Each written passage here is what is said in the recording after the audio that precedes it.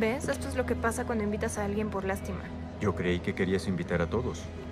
Oye, no puedo invitar a todos mis compañeros de arte menos a una persona sin que las evidencias de las redes sociales le provoquen más humillación de la necesaria y no soy un monstruo. Bien dicho, eso creo. La castigan a cada rato y también en ocasiones le grita a los maestros.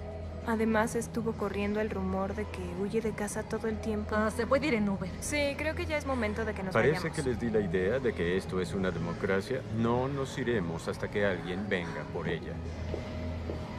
Ah, el auto se averió. Voy a tomar el autobús. No vas a irte en autobús. Yo te llevaré. Claire ya casi ahorró la mitad del dinero para su propio auto. ¿No es así? Porque dentro de poco ya no voy a poder llevarlas en el mío. ¿Eh? No vas a poder oír a papá contar chistes que solo a él le hacen gracia durante todo el viaje si no vienes. No te lo querrás perder.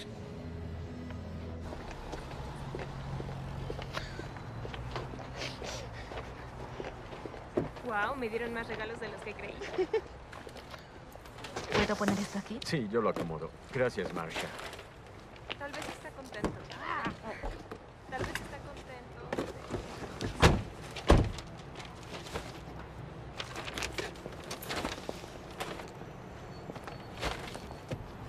Hola.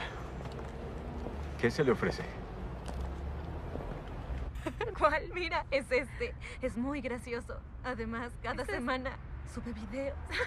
Ay, no es cierto. Mira, mira, nada más. Qué raro, ¿eh? Sí, estás enamorada, que- ¿eh? Ponle no entiendo. pausa. Sí, regrésala. ¿Por qué no lo entiendes? ¿Por qué Yo no lo creo que es entiendo? rubio y es guapo. No, tiene las cejas como... Ay, de verdad, lo que no entiendes son sus cejas. Sí, sí, pero suelen gustarme las cejas, no creas. ok, eso está bueno. ¿Qué?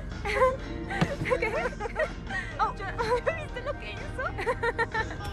¿Cómo lo hace? No sé, pero por eso te lo estoy mostrando. Es un genio. Está loco.